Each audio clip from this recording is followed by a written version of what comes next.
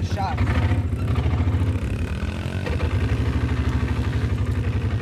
I chilled myself right in the eye. Yeah. Did you get any in your eyes? Uh, yeah, a little bit, but it wasn't